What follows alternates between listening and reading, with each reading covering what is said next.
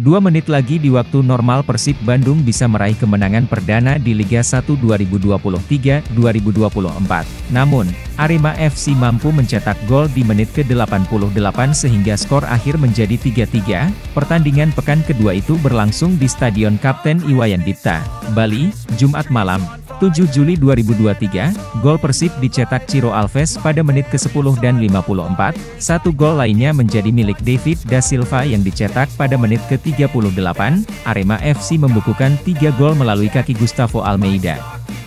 Penyerang anyar asal Brasil mencetak hat-trick. Gol dikemas pada menit ke-6, 17, dan 88. Dua gol terakhir terjadi melalui sepakan penalti. Hasil imbang 3-3 membuat Persib belum pernah merasakan kemenangan. Di pekan pertama, saat main di kandang, Persib hanya main 1-1 saat menjamu Madura United. Demikian Hermawan Aksan, Tribun Jabar.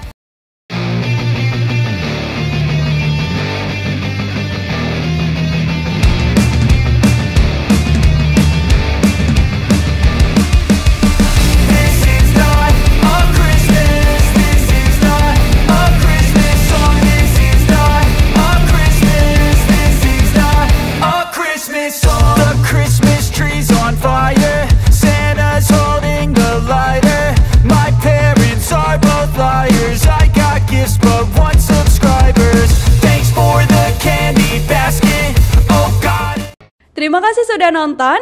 Jangan lupa like, subscribe, dan share ya.